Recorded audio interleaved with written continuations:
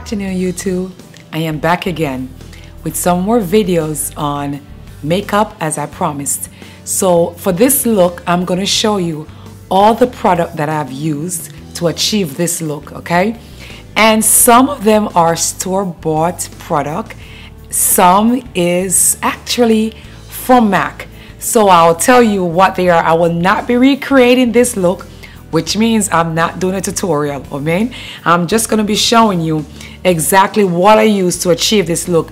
Maybe in another video, if you guys give this video a thumbs up or subscribe or tell me, hey, I wanna see how you achieve this look, I'll create a, a tutorial, all right?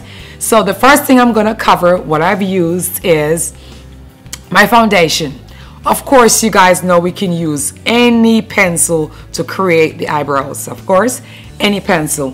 What I have under my eyebrows, which is on my, my bones, I put a little of this there, which is an highlighter. You all know what this look like. And this is just to give you that look right there. All right, this is what I use. All right, coming down to my eyes, coming down to my eyes. The lashes that I've been loving so far, or been loving this far, is Kiss. Is Envy Premium by Kiss. Envy Premium by Kiss. I am loving these lashes. It's a KPED 39. I am really loving this. Give it this big, I love it. And this is what the pack look like. And I use basically, I'm not sure if you're supposed to use it, so be careful if you're allergic to this. Do not follow me and use it. But I actually use the air glue, the glue that you put into glue your tracks in. That's exactly what I use to put my lashes on. I do not use eyelash glue at all. For some reason, I don't like it. I have some, but I don't use it because I prefer the air glue. It's some, for some reason, it stays on your eyes. Lashes ain't moving. So that's on my lashes. On my lashes, I'm actually wearing um, some eyeshadow. I forgot who made them.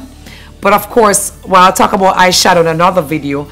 But I forgot who the brand is. So I'll come back to that.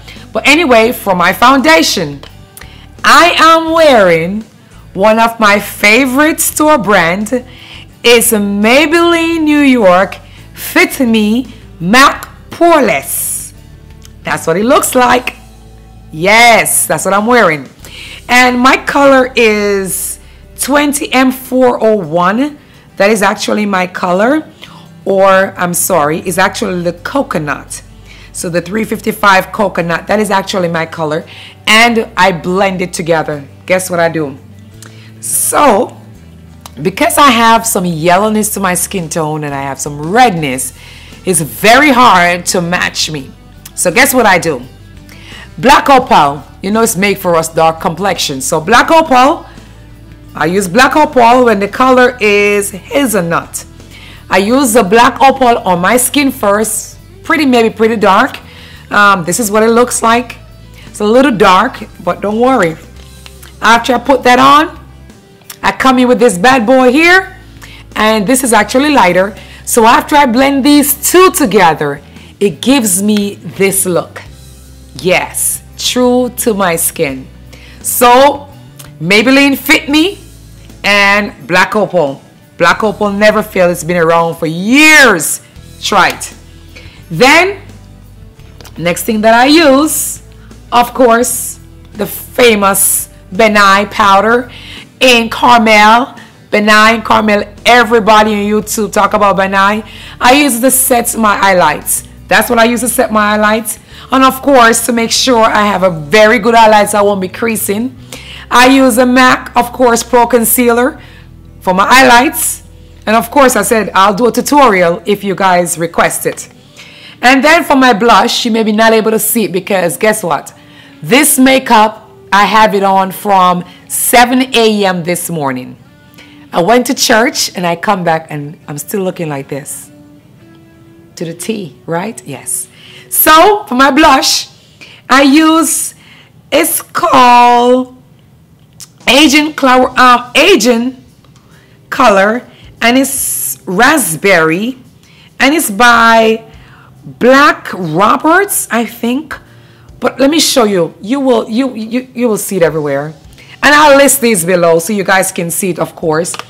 And of course, to do my little contouring, my little, I use my favorite uh, Rebecca. Of course, y'all know about Rebecca. Beautiful. Beautiful. And please, guys, please, when you're doing your eyeshadow, make sure you have a base. Because guess what I found out? I'm not a makeup specialist. I'm not a professional, but I play with colors. And what I found out is that if you use a, any a good base, you can wear any makeup, which means you can buy one from the dollar store and the color will pop, long as you have on a base. And my base is from Color. It's a brand that's in my mall here, my local mall. Nothing special about it, but it really makes my color pops. And one more thing.